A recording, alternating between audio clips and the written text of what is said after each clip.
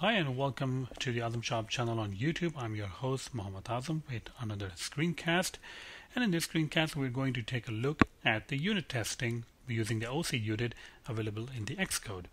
So I'm just going to make a new project and um, let's go ahead and create a single view application and here it says include unit test. So if you want to test using OCUnit, which is part of the Xcode, uh, then you check this checkbox and it will add the target for the OCUnit uh, project.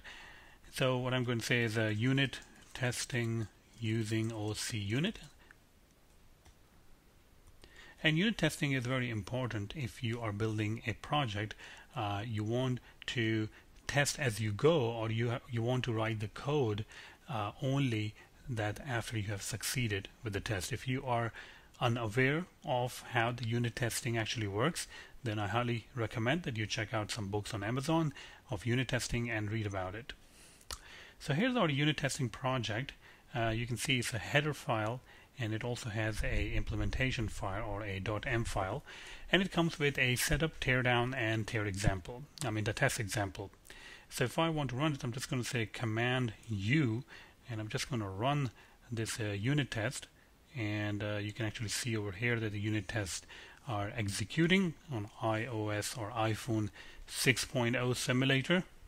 Of course, it's available in 4 point and I mean iOS 4 and 5 and everything. So we're just going to run the default unit test that is created when we added the project for the unit test and you'll see that the, it simply fails and it says unit tests are not implemented yet. And of course it will fail because it says that it will fail. Alright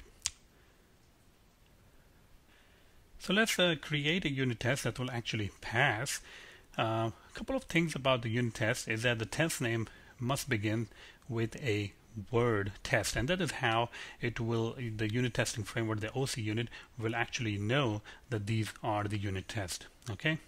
So if I want to test anything so if I want to say okay test add two numbers or you can say you can be more descriptive. You can say should be able to add two numbers okay? And uh, you can provide different numbers you have uh, uh, you can uh, have different numbers. I'm going to say st a third equals object and you have different uh, equality operators basically that you can check over here so you can say I, I, would say 2 plus 2 4 and this will be kind of like uh, that it will fail then it will display this message so you can say the addition result is not correct. So this is basically the description or the message that it will appear when um, you know it is incorrect. So if I just say 2 plus 2 equal to 3 and if I run this unit test then here we go it actually failed and it should be equal to 3 and all that stuff so we are not we're getting the uh, you know uh, failing test of course, 2 plus 2 equal to 4, and you will get unit test text succeeded over here, and you will you should be watching uh, the uh, basically the the console over here that uh, unit tests have actually passed. Okay. Um, another thing that you can also do is a unit test has I mean different operators, as I have already said. Uh, so it also has some operator like assert throw. So you can also check that if you have a particular method and that has a, a thrown an exception, so you can actually check that that particular exception has been thrown. Okay, and you can call any method over here.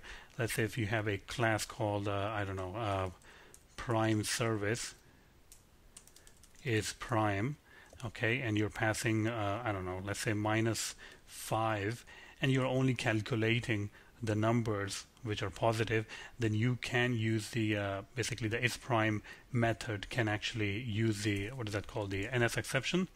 So you can use the NSException and then you can uh, throw the exception and all that stuff. Exception with name, reason, user info, and uh, you can actually throw the exception not using a throw. Okay. So uh, this is, I mean, it's, it's, a good framework. It's actually built into it.